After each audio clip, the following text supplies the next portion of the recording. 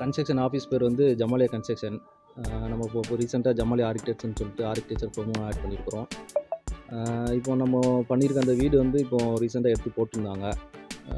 நம்ம ரெகுலராக பண்ணுற ஸ்டைல்லேருந்து கொஞ்சம் அது டிஃப்ரெண்ட்டாக பண்ணியிருந்தோம். கொஞ்சம் சின்ன சேஞ்ச் பண்ணுறதுனா கொஞ்சம் டிஃப்ரெண்ட்டாக பண்ணியிருந்தோம். அதில் வந்து இப்போ நம்ம எக்ஸ்பெக்ட் பண்ணுற அளவுக்கு அதுக்கு ரெஸ்பான்ஸ் இருந்தது.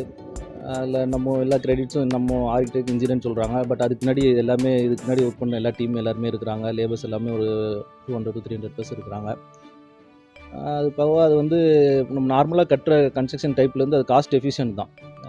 சீப் அண்ட் பெஸ்ட்டு தான் அது வந்து எப்படின்னா கன்ஸ்ட்ரக்ஷன் ஸ்டைலு டெக்னாலஜி எல்லாம் பார்த்தீங்க அப்படின்னா ஒரு வாலோட கன்ஸ்ட்ரக்ஷனாக இருக்கட்டும் ஸ்லாபு காஸ்ட் பண்ணுறதா இருக்கட்டும் உள்ளுக்குள்ள உள்ள டிசைன்ஸ் எல்லாமே இருக்கட்டும் எல்லாமே வந்து நார்மலாக நம்ம சீப் அண்ட் பெஸ்ட்டுக்குள்ள கான்செப்ட் தான். ஃபார் எக்ஸாம்பிள் வால் வந்து பார்த்திங்கன்னா ரேட்ராப் வால் யூஸ் பண்ணி கட்டியிருப்போம்.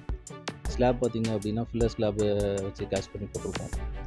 இதில் வந்து வெளியில் வந்த டிசைனோட ஸ்டைல் அப்படி இருக்குது. உள்ளுக்குள்ளே அந்த இடம் வந்து வேஸ்ட் ஆகுமா அப்படின்ற ஒரு எல்லாத்தோட கொஸ்டின் இருந்துச்சு.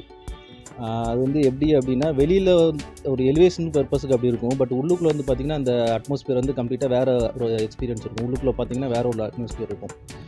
இதில் எல்லாமே பார்த்திங்கன்னா நம்ம தமிழ் கல்ச்சரில் இதுக்கு முன்னாடி பண்ணியிருக்கிற வீடோட டைப்பு தான். அது அது அப்படியே கண்டெம்பரரியாக நம்ம இப்போ பண்ணியிருக்கிறோம். வேறு ஒன்றும் இல்லை. ஒரு எக்ஸாம்பிளுக்கு வீட்டுக்கு வெளியில் வாட்டர் பாடி வைக்கிறதா இருக்கட்டும் வீட்டுக்குள்ளே அந்த முட்டை வைக்கிறதா இருக்கட்டும் இது எல்லாமே வந்து பார்த்திங்க அப்படின்னா வந்து நேச்சுரலாக நம்ம காஸ்ட் கட் ஆகும். ஆக்டிவ் எனர்ஜி இல்லாமல் பேசிவ் எனர்ஜியாகவே நம்ம யூஸ் பண்ணிக்கலாம் எல்லாத்தையுமே.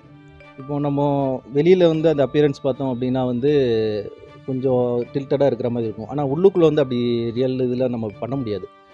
உள்ளுக்கு நம்ம வந்து ஹேபிட்டபிள் ஸ்பேஸ்னால நம்ம அப்படி பண்ண முடியாது. ஆனால் வந்து நம்ம அந்த ஸ்ட்ரக்சரெல்லாம் நம்ம எப்படி கொண்டு வந்திருக்கோம் அப்படின்னா வந்து அதுக்கு பிடி ஸ்லாப் மார்ஃபிலினியர் பிளேன்னு சொல்லிட்டு ஸ்ட்ரக்சரல் மெம்பரை வச்சு நம்ம அப்படி வெளியில் டிசைன் பண்ணியிருக்கிறோம். இது நம்ம நார்மலாக பண்ணுற பில்டிங் கன்ஸ்ட்ரக்ஷன் காஸ்ட்டும் இதுவும் ரெண்டுமே பார்த்தீங்கன்னா ஒரே தான். இது வந்து எக்ஸ்ட்ரா காஸ்ட் எதுவுமே வராது. நார்மலாக இப்போ நம்ம ஸ்கொயர் ஃபீட்டுக்கு டூ தௌசண்ட் நாங்கள் பண்ணது ஒரு டூ த்ரீ இயர்ஸுக்கு பின்னாடி இருக்கும். ஸோ டூ ஸ்கொயர் ஃபீட்டுக்கு டூ தௌசண்ட் ருபீஸ் பக்கத்தில் தான் எல்லாமே வந்து நார்மல் கன்ஸ்ட்ரக்ஷன் டைப் தான் இதுவும். யூஸ் பண்ணுற building material normal building material ஆனால் நம்ம யூஸ் பண்ணுற ஸ்டைலில் இருந்து தான் சேஞ்ச் ஆகும் அதில்.